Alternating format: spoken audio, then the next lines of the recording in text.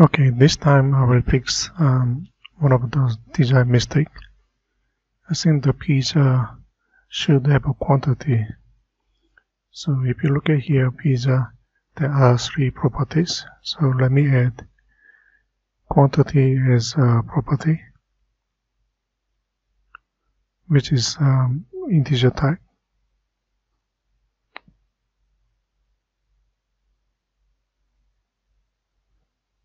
Okay, make sure you set uh, setters and getters.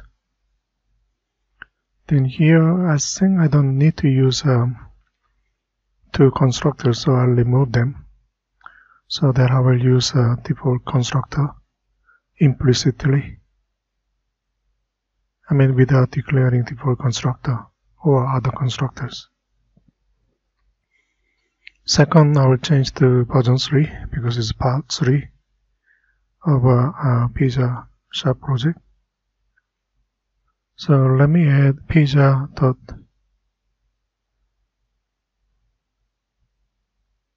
set quantity. So it refers to um, text field quantity get text. So we may need to do typecasting because get text will return string value.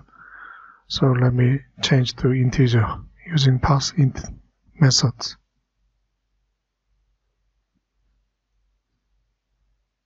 Again typo and then uh, method here is a pizza get quantity. So let me use the methods. For um, for that one uh, we don't really need it anymore so let me comment it out. For the cput same thing. Copy paste it Busy also same. Okay, we are using uh, methods belongs to pizza object. So pizza get quantity, pizza get quantity. So we fixed two problems.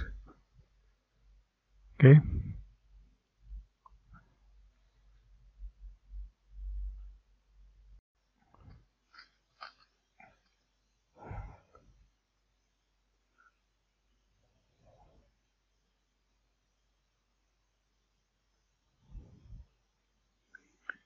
So if you select the number one quantity, okay,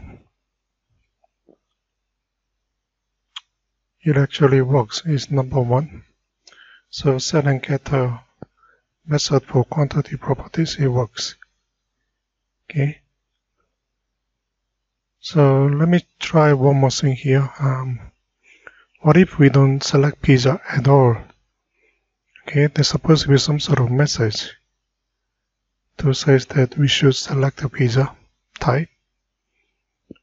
Because the if else statement um, I did not put else statement.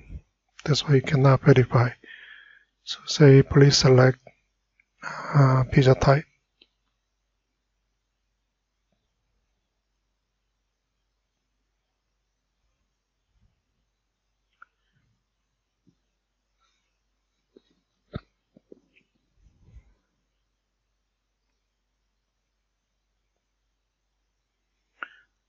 Okay, at least we can see uh, some validations.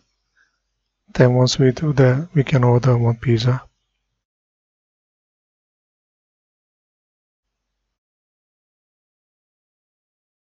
I think that's all. Thank you.